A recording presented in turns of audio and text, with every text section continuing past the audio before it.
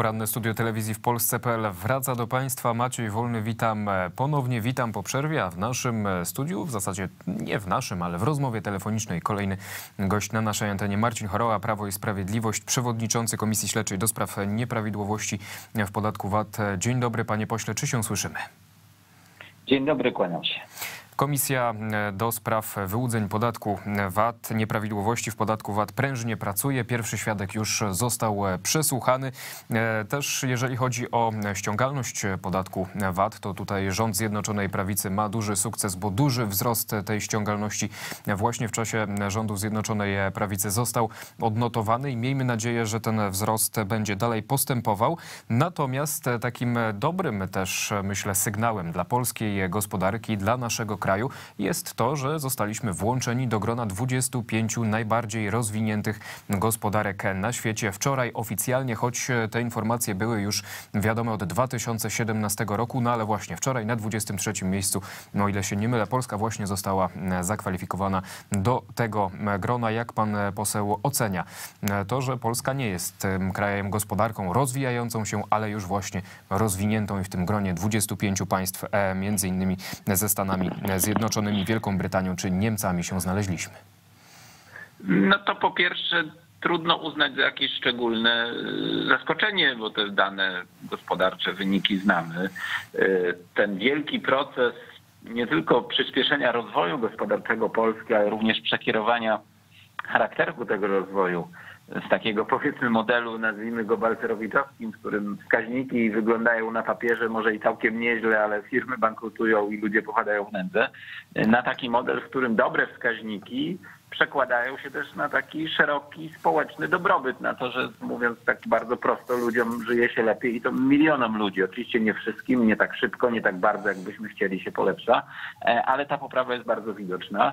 No i to znajduje uznanie, jak widać również w instytucjach międzynarodowych. Y, po prostu, o ile w takich sprawach bardziej, no tam jak te spory wokół praworządności i tak dalej, one są takie powiedzmy niewymierne. Tam coś można jeszcze zagadać, czy coś zaczarować inaczej niż jest w rzeczywistości. O te twarde dane ekonomiczne, gospodarcze, no już ich się zaczarować nie da. Y, I tutaj rzeczywistość jest jaka jest, czyli taka, że Polska no, dołącza właśnie do tych krajów rozwiniętych, choć oczywiście to nie znaczy, że mamy spoczywać na laurach. Jeszcze ogromny dystans do tego stanu, w którym można powiedzieć bylibyśmy usatysfakcjonowani polską gospodarką, jest do pokonania. Trzeba dalej pracować, ale widać, że ta praca przynosi efekty. W ciągu paru lat chcemy wyraźnie zbliżyć się do pierwszej dwudziestki najbardziej rozwiniętych rynków kapitałowych na świecie. Taka zapowiedź ze strony e, prezesa Giełdy Papierów Wartościowych e, Marka Dietla się pojawiła. E, no i właśnie, to nie jest spoczywanie na laurach. Miejmy nadzieję, że Polska się do tego grona tych 20 państw niebawem zbliży. Powiedział, wspomniał pan poseł tutaj o e, tym konflikcie, o tych różnicach zdań braku porozumienia w kontekście reformy wymiaru, wymiaru sprawiedliwości chociażby, ale takie włączenie Polski do grona 25 najbardziej rozwiniętych gospodarek na świecie świadczy też o pewnej stabilności w naszym kraju. A z jednej strony możemy taką narrację ze strony pewnych liberalnych środowisk czy środowisk zbliżonych do opozycji totalnej odczytywać to w ten sposób, że w Polsce właśnie tej stabilności nie ma, że jest zagrożona praworządność, że dzieje się nie wiadomo co i tak dalej, i tak dalej.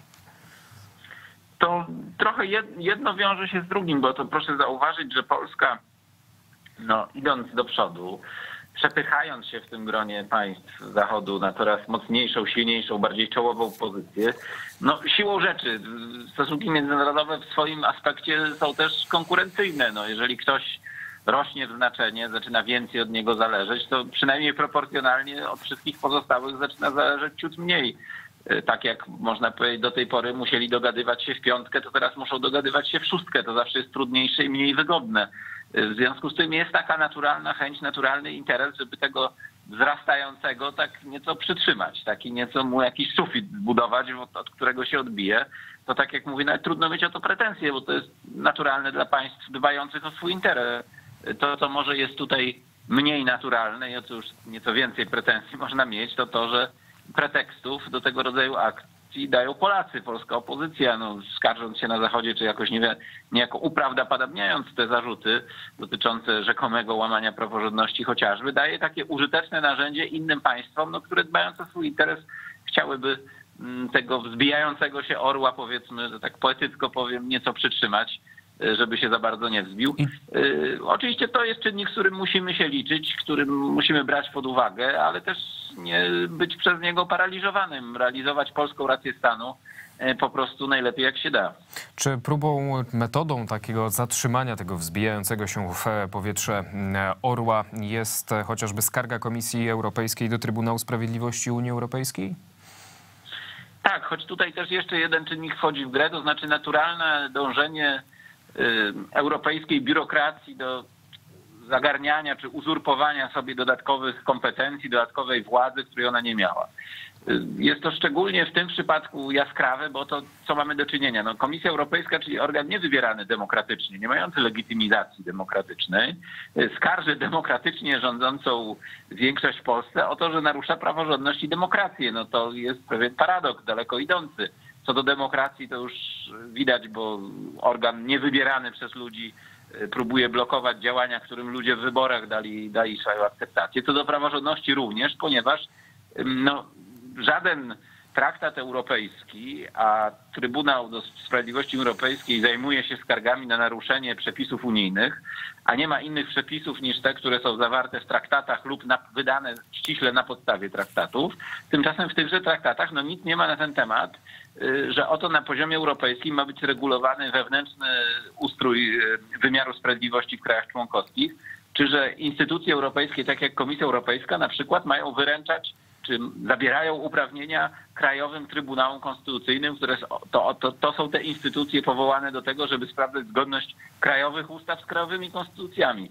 No więc tu jest organ niedemokratyczny, uzurpuje sobie pewne uprawnienia, które mu nie dano i to wszystko w imię obrony praworządności. To jest pewien paradoks, ale tak no, biurokracja co do siebie ma, a biurokracja brukselska już w szczególności, że tak próbuje, próbuje sobie y, jakieś tam pola władzy, której wcześniej nie miała zagarnąć. Panie pośle, ale Komisja ja Europejska tłumaczy tak, to w ten sposób. E, według Komisji Europejskiej wdrożenie kwestionowanych przepisów regulujących przejście sędziów Sądu Najwyższego w Polsce w stan spoczynku zostało przyspieszone i tworzy zagrożenie w postaci poważnego, nieodwracalnego uszczerbku dla niezależności sądownictwa w Polsce, a tym samym dla systemu prawnego Unii Europejskiej.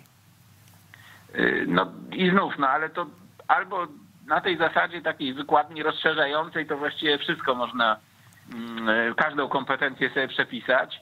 E, tak oczywiście nie powinno być, bo komisja powinna się ściśle trzymać e, traktatów. No, nawet jeżeli sobie uważa, że to jakieś tam zagrożenie stanowi, to najpierw w traktacie Unii Europejskiej albo funkcjonowaniu Unii Europejskiej musiałby się znaleźć zapis, że Komisja Europejska ma kompetencje do oceniania pod tym kątem wewnętrznego ustroju sądownictwa w tym czy innym kraju. Otóż takiego zapisu tam nie ma. Ja co więcej przychyliłbym się tutaj do stanowiska organu, który ja powinien być najwyższym autorytetem nawet dla polskiej opozycji, czyli Federalnego Trybunału Konstytucyjnego Niemiec, który swego czasu wyraźnie stwierdził, że państwa są panami traktatów i że żadna instytucja powołana na podstawie traktatu nie może sobie przydać innych uprawnień niż ściśle w tymże traktacie jej przydane. No, Komisja Europejska takiego uprawnienia nie ma, więc po prostu działa tutaj no, w stanie pewnej uzurpacji i takiego naginania, rozszerzania prawa, co jest szczególnie śmieszne czy paradoksalne, jeżeli dzieje się to pod płaszczem obrony praworządności właśnie, a samo w sobie takie działanie w istocie praworządność narusza. A w jakim stanie działa Grzegorz Schetyna, lider Platformy Obywatelskiej, jadąc do Berlina, spotykając się z kanclerz Niemiec Angelą Merkel, rozmawiając o między innymi o budżecie Unii Europejskiej, między innymi również o Nord Stream 2. Jak pan poseł ocenia tę wizytę, tę ciekawą podróż Grzegorza Schetyny?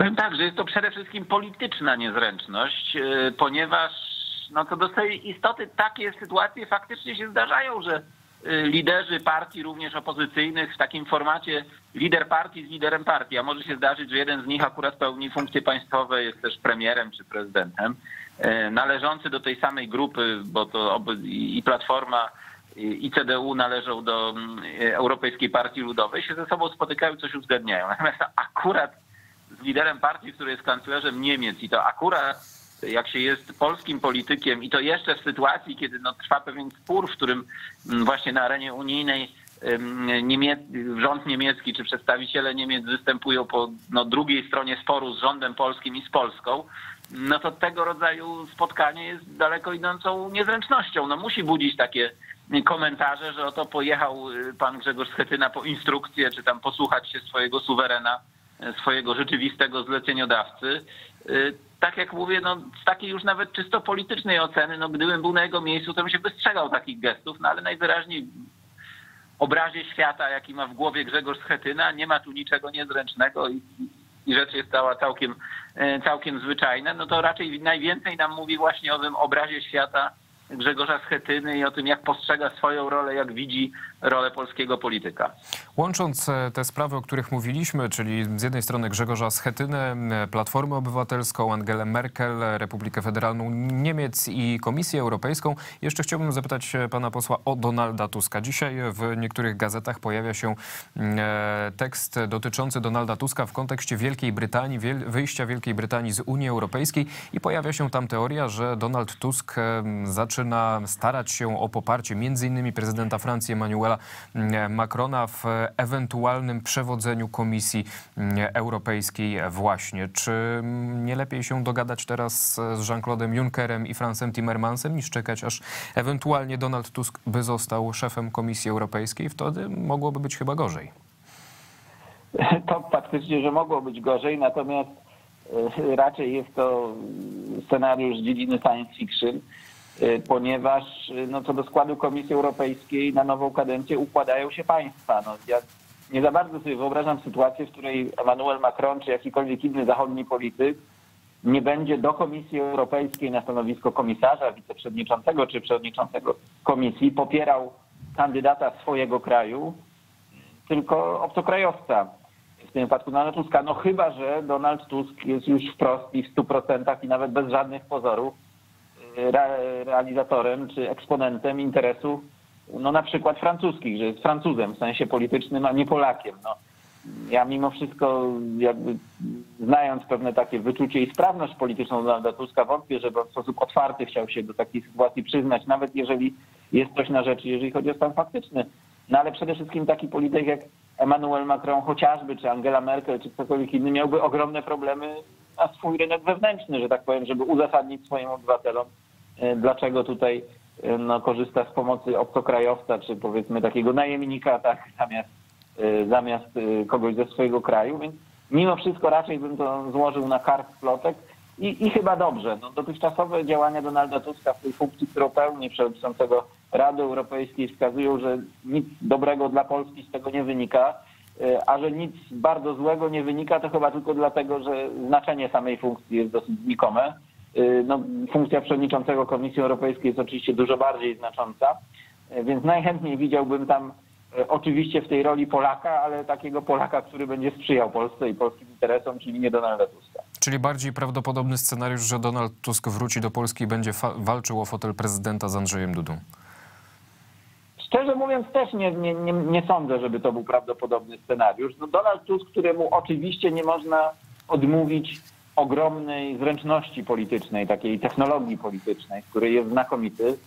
Yy, No niemniej w takich bardzo wy- wyborach powszechnych, takich, gdzie no nie tylko tak gabinetowa zręczność się liczy, yy, no chyba już w Polsce nie ma szans. To jest takie chyba zjawisko trochę jak z Aleksandrem Kwaśniewskim, który kiedyś był przecież mega popularną osobą, yy, był przecież zwyciężał w pierwszej turze na swoją drugą kadencję, a teraz jest głównie obiektem żartów. Chyba Polacy nie będą chcieli wchodzić dwa razy do tej samej rzeki. Panie pośle, dziękuję bardzo serdecznie za rozmowę i komentarz. Życzę dobrego dnia. Bardzo dziękuję, kłaniam się. Moim Państwa gościem w rozmowie telefonicznej był Marcin Chorała z Prawa i Sprawiedliwości. To wszystko teraz przed nami chwila przerwy, a my wracamy do Państwa niezawodnie tuż po niej.